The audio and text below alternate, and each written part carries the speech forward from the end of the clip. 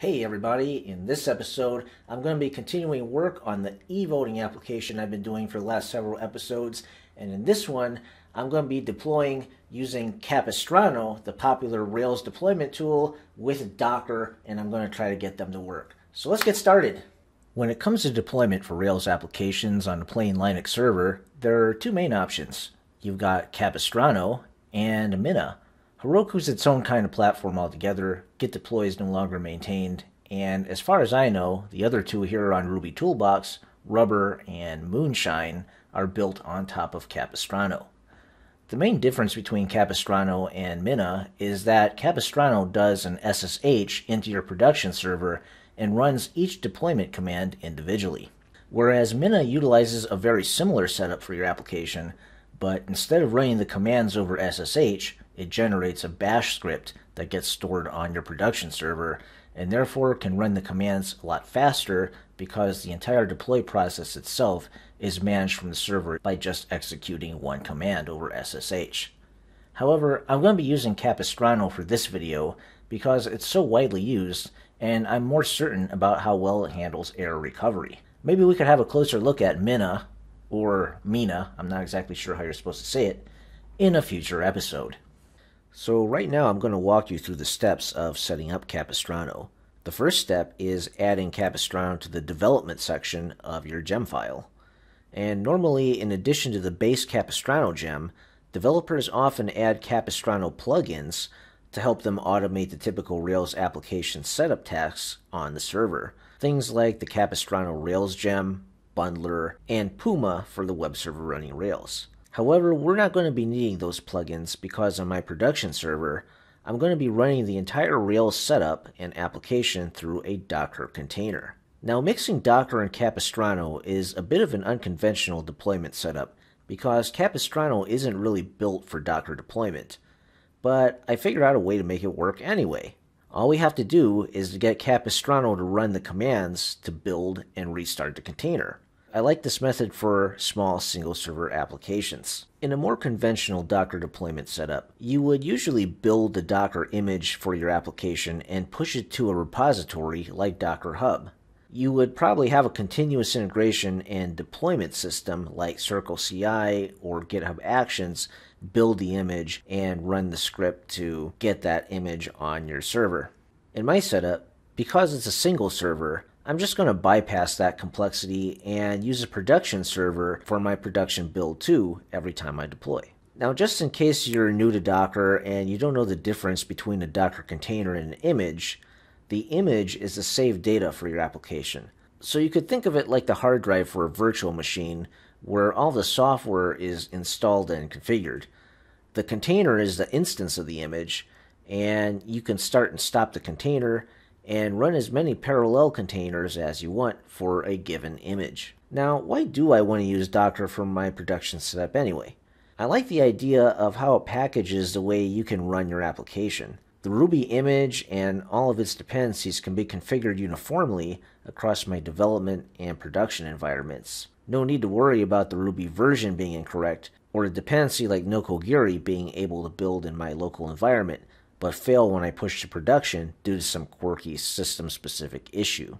Also, process management becomes simpler because the application is managed by Docker. Remember, in my video Stonks on Rails episode 3, I had a production server issue running a separate thread for my background jobs. I was able to easily resolve that by running the jobs in a separate Docker container process. If I'm having any trouble running my application, I can just do a docker ps to see what's running on the server and use docker compose commands to restart any containers. So back to our gem file. We've added the Capistrano gem to our development group, and this is because Capistrano is meant to be run from your development environment on your local machine. Your app is going to run in production mode on the server, but your computer is actually spinning up a development instance of Capistrano and running all the commands on the server through an SSH session. We don't need the Capistrano Rails gem for this setup because we're going to use custom Docker commands to run the asset pipeline and the database migrations during the build process.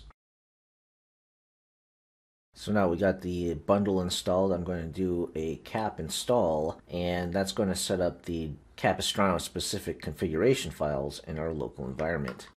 So here the cap install places some of the files that we need for Capistrano to run and be configured. We've got the cap file, which is a place where you would enable or disenable some of the additional libraries and overall configuration setup for Capistrano. Here's our deploy file where we could make special settings on how our application is going to run on server and how it's going to be deployed. And here in the deploy folder, we've got production and staging files for specific settings to the environment.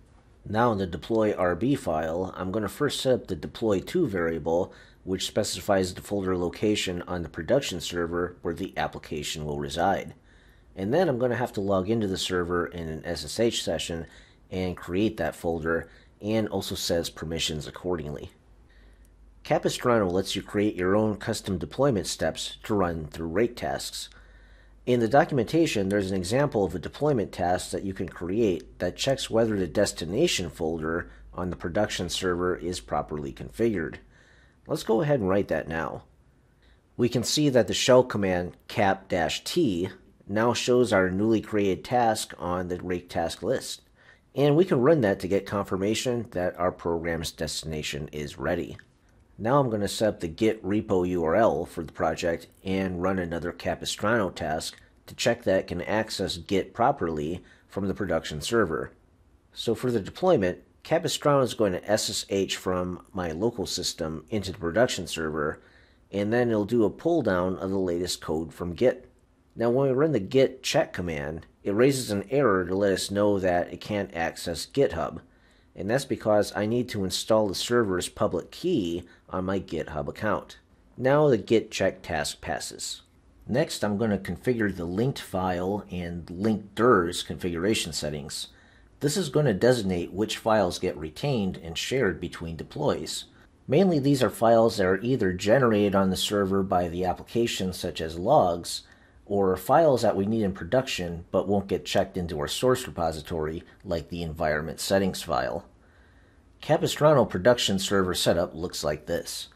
There's a releases folder with subfolders named by a timestamp of the deploy that created them. Each release has a copy of the program source code from that deploy. Within the releases folder, every file that you specify in that linked files and linked DIRs arrays get symlinked to the shared folder. So I'm going to run the production deploy task right now, and this is just going to install the code from GitHub onto the server. Once this task successfully runs, we can log on and look at what's there so that you can see that the .env file is symlinked to shared, and the log directory is also symlinked to shared. If we move up a level, we can see that the current folder is symlinked to the releases folder.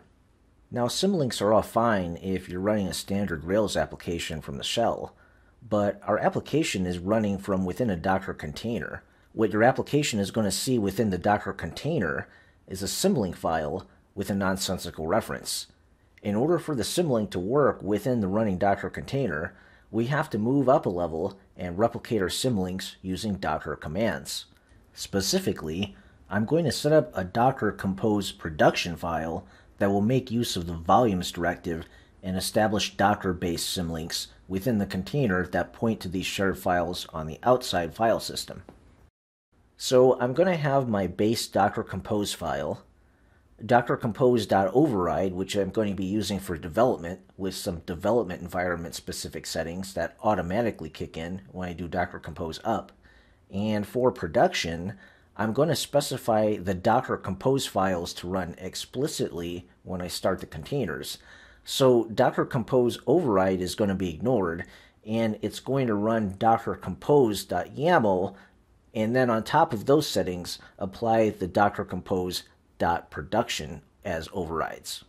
Now that we've got the environment-specific file links taken care of, the last thing that we need to get right is the specialized task that we're going to run as an afterhook that builds the Docker container and reloads any currently running containers.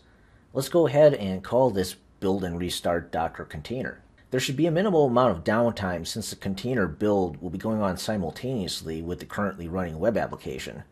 And once the build is finished, we can just kill the existing container process and upstart the newly built container with the latest code. Here's my first draft of the afterhook script. This script pretty much follows the build steps outlined in the Docker Compose documentation for deploy to production, which is basically just build and restart the container. Also notice that all of the commands I'm running are in word-based arrays, and this is because of the way that commands are passed into SSHKit, the SSH engine used by Capistrano.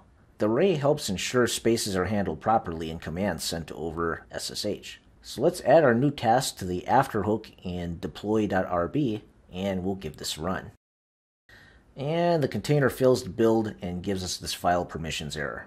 By the way, this is one of the things that I do like about Capistrano is that I know that its error logging is pretty solid. As for the cause of the error, I'd like to save you footage of about three hours of me banging my head against the wall trying to figure this one out.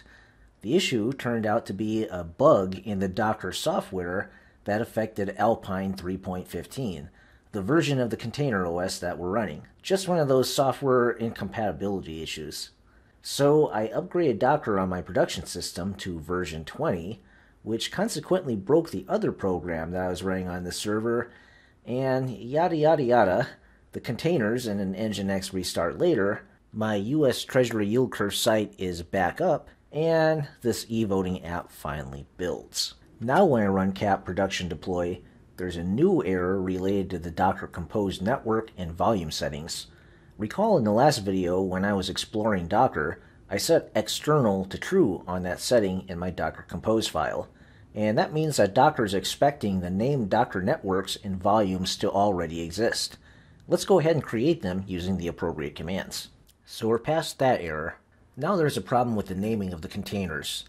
In Docker Compose, I give explicit names of the containers to run so that I can easily reference them in Docker commands. Without this setting, Docker would assign a unique name to each container. Starting and stopping containers with the same name normally wouldn't cause us any issue, but Capistrano's directory structure with the releases is causing us a problem. Because each deploy goes into a different release folder, Docker considers each release to be an independent application, even though they're sharing the same container names. So if we initiate a Docker container in one folder and then initiate a restart command in another, there's going to be a naming conflict because the restarting app in the new release folder is going to be considered a different application that has a name conflict with the currently running existing container.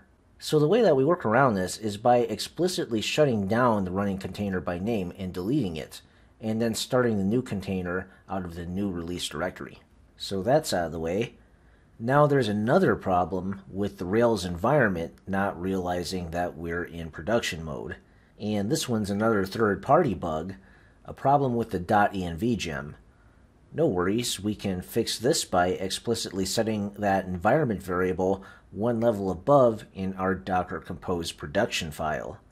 And if we want, since we're using Docker, we can discontinue our use of the dotenv gem altogether and just use the Docker Compose file to read the .env file and set the environment variables in the container that way. Alright, so we have another attempt, another error. This time we have to set the Rails production secret, which would be a required task with or without Docker. So we could generate that and add it to our .env file. Finally, we get a successful deploy and an automated restart of our containers. So now let's log into the Rails console and start making some initial seed data. I don't have the domain and HTTPS set up through the Nginx proxy yet, so let's try retrieving a web page from the server using curl. And as you can see, we get the Rails error page, and that's because there's one more task to do. We have to add the Rails asset pipeline compilation rake task to our deployment process so that it can access the styling and associated JavaScript files in production mode. I'm going to go ahead and add that build step to our Capistrano deployment and also add the Docker volumes link so that our public folder contents and anything cached there will remain persistent between deploys. And once those tasks are done, we finally have a working application. So here are my concluding thoughts on using Capistrano as a deployment tool if you're using Docker in production.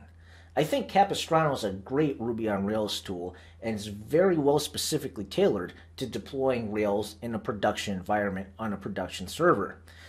It gives you special plugins that let you do things like run rake tasks, you could configure RVM, uh, some of the web server uh, plugins that Rails uses, it's got special ways to configure that, running bundler. All those things are great, but here's the problem, is that if you're using Docker and you've configured your Docker Compose correctly, you don't really need those features that Capistrano has to offer. In fact, some of Capistrano's best features even work against you when you're trying to deploy a Rails app in this fashion. So as we've seen, we've had to do some workarounds because the symlinks can be problematic uh, that Docker uses because when your application is running, it's inside of the Docker container. The symlinks on the file system created by Capistrano don't translate well into your Docker container. So you have to use the Docker volumes to create your own second layer of symlinks to link to the correct shared data.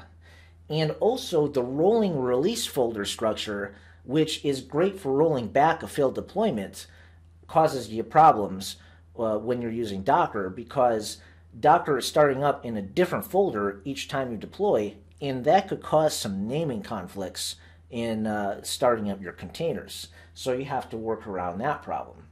So overall, while I think Capistrano is still a great tool for deployment, it's somewhat of a suboptimal setup. In other words, I think you're probably better off using a tool that's more specifically tailored to pulling down a Docker image or building the code in the same folder and then running it. And for that, you probably don't need a Capistrano. In fact, I wish you could turn off some of Capistrano's features and just keep everything in a single folder. That would make it a lot easier. So if you found this video useful, and I hope you did, go ahead and give it a like and subscribe to my channel because I've got a lot more Ruby on Rails content and programming content planned here. Also, if you join my Patreon, you could get access to the source code for this project and run through it as you're watching the video and explore it on your own. So, with that said, I'll see you in the next video.